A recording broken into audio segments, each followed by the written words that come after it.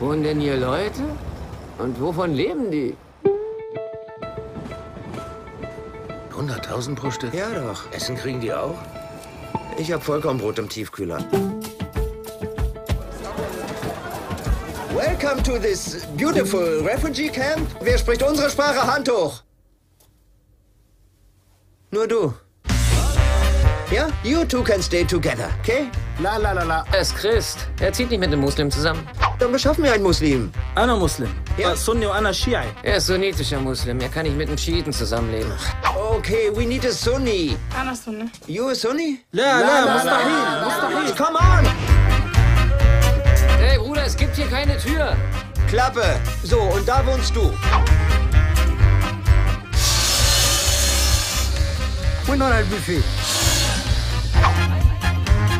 Sie ist 20 und seit dem letzten Jahr in Norwegen. Nicht so trocken, lieber ein bisschen persönlich.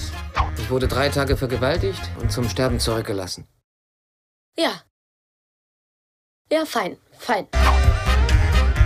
We want real food and TVs. And Playstation. This is not a country, this is not a government, it's a refugee camp.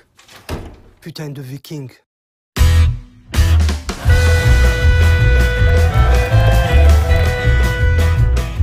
Das war wohl der, den Sie abholen sollten. Da sind wir nicht mehr zuständig. Ein paar Buddhisten gibt's auch, oder?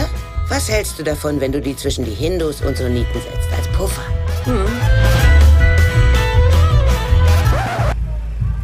Das darf doch wohl nicht wahr sein.